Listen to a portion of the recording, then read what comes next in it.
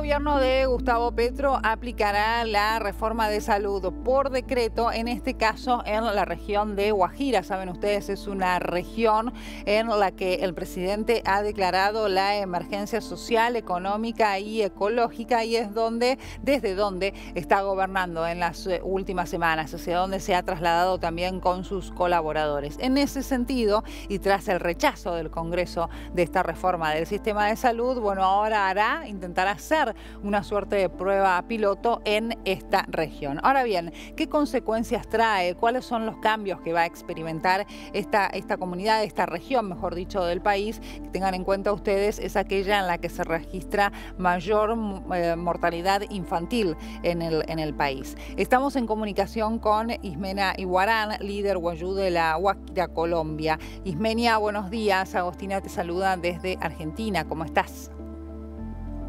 Muy buenos días. Esto, eh, un placer saludarlos a todos. Y bueno, estamos dispuestos para dar las respuestas necesarias para toda, para esta entrevista. Entonces, bueno, adelante. Bueno, el presidente ha decretado entonces allí la emergencia, como yo decía, social, económica y ecológica. ¿Cómo es vivir en esta región del país? ¿Cuáles son las falencias que tienen?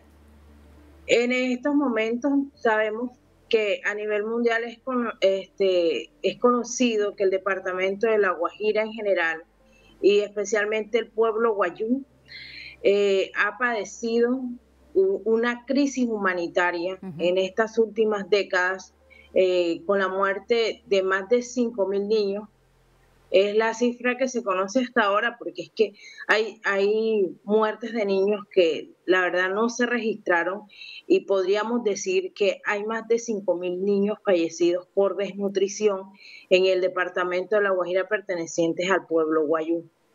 Eh, entonces, eh, vivir en el departamento de La Guajira en estos momentos eh, con tanta crisis que, se vive y, sumado a ellos ya, ven, ya vendrá pues o ya estamos padeciendo el tema de, de cambio climático por el fenómeno del niño, entonces eh, nosotros ya tememos a que esa crisis aumentará y, y ya la vida será mucho más difícil para eh, el guayú para el guayú que vive en las zonas rurales, en las comunidades. Em, ¿Qué representó para ustedes la llegada del presidente Gustavo Petro en estos últimos días?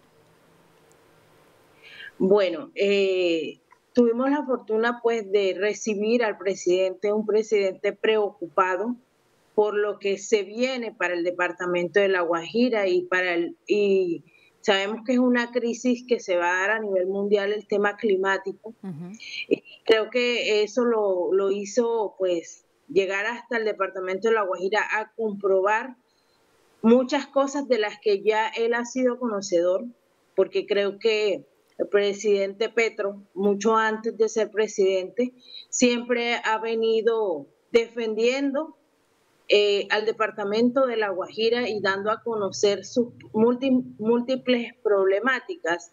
Entonces, en estos momentos para nosotros es esperanzador.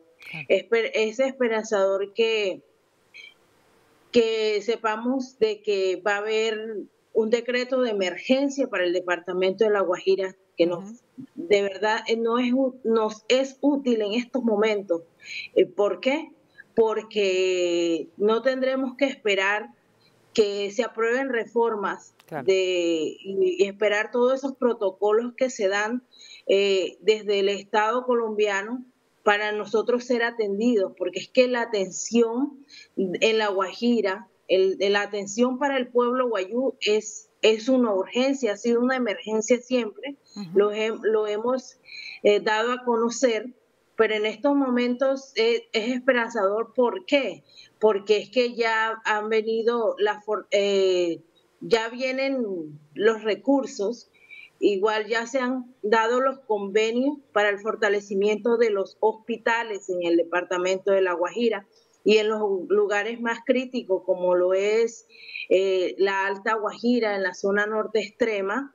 Eh, con el Hospital de Nazaret.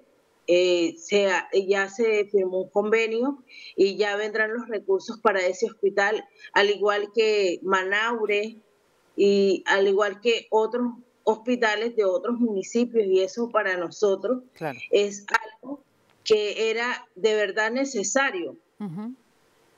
Ismenia, muchas gracias por este contacto. Por supuesto, seguimos muy de cerca, bueno, cuál es la situación allí en, esta región de, Colombia y cuáles son las acciones que está tomando, que está llevando adelante el presidente Petro y, por supuesto, cómo va a evolucionar, ¿no? Conforme a todos estos cambios a los que vos estabas haciendo referencia, principalmente en cuanto al acceso al agua, que es una de las cuestiones más críticas, y las cuestiones de atención médica, y de salud. Muchas gracias por esta comunicación con nosotros.